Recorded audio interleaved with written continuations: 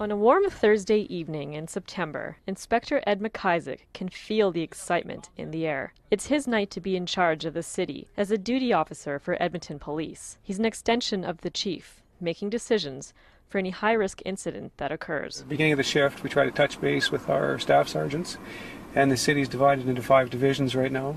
So we'll talk to each staff sergeant, see what they have for resources, and then uh, we'll look at uh, what's going on in the city, what what uh, trends are going on. There are four duty officers who take turns to work 24 hours a day. A staff sergeant typically makes the decisions, then runs it by the duty officer to make sure those decisions are sound. With 28 years of police experience, McIsaac is usually the man with the plan. I joined the job originally to be on the street. I like being on the street, being a policeman on the street.